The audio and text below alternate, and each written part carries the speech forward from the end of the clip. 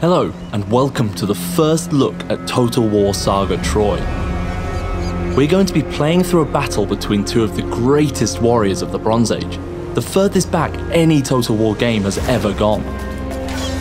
Now, of course, the period is full of myth and legend, but today we will witness this battle play out and write our own history.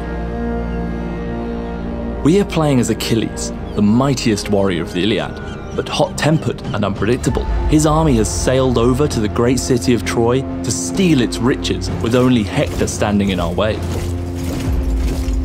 The champion of Troy, Hector, sees an opportunity to take down the enemy of the city and end Achilles' hunt for glory.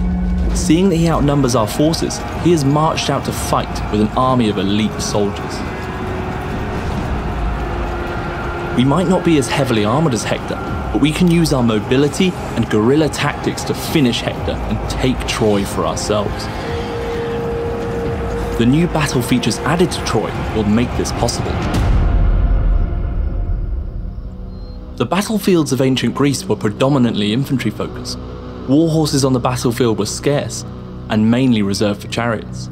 We've designed greater distinction between the infantry classes in order to promote greater dynamic interplay. Infantry have three weight classes light, medium, and heavy. And the differences between them are accentuated from previous Total War titles. We have that full range at our disposal, forming up the anvil we want to hammer Hector's forces against. Greater mass means collisions are more impactful, whereas speed gives flanking a more prominent role to play. Our heavy unit also benefits from having alternate weapon modes. At the press of a button, our renowned Thean spears can put away their shields and become a much more offensive unit. We will try to use this to our advantage once the battle is underway. One of the advantages of light units is their ability to hide within long grass, a new terrain type within Troy. Long grass enables light units to remain hidden from view, enabling you, the player, to use the map in a greater tactical way than ever. We have chosen to hide our Aeginian javelinmen so that they can use their speed plus armor piercing javelins to flank and destroy some of Hector's greatest warriors.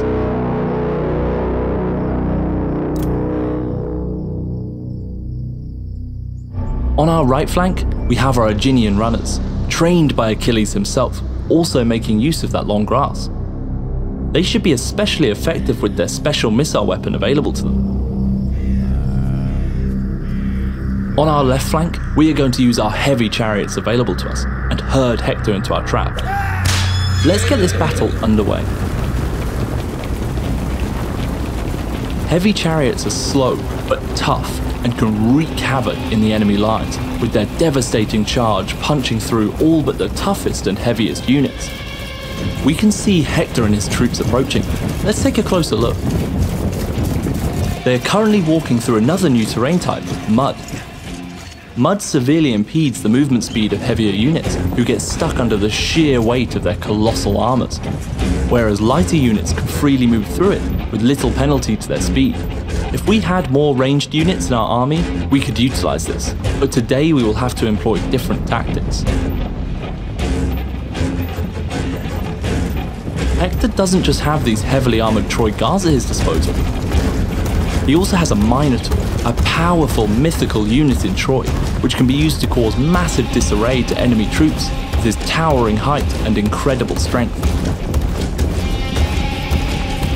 We think of our Minotaur as a rebel or bandit king who invokes the symbols of the past to stake a claim for power. His army is getting close, leading his archers at the front to loose arrows onto our strongest units.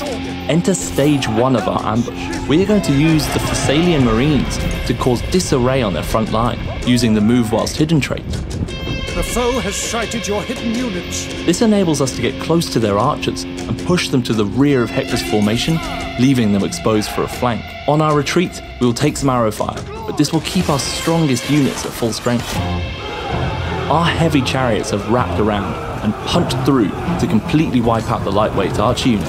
Our right flank is managing to prevent any attacks our enemy Hector had planned, with the light swordsmen holding them in place, and our Aeginian runners using their aforementioned missile weapon to provide range support. Hector's forces are now attacking our front line, including the mighty Minotaur. Your hero is under attack. Achilles has engaged with their unit. Let's put away the shields of our Thean spears and engage on the offensive. Our units are not as strong as Hector's, so they will not hold forever here. We have our javelinmen still hiding in the long grass. Let's move them into the perfect flanking position before our forces flee. We can see these guards of Troy are making mincemeat of our medium weight swordsmen. They have only lost around 20 men compared to our almost half.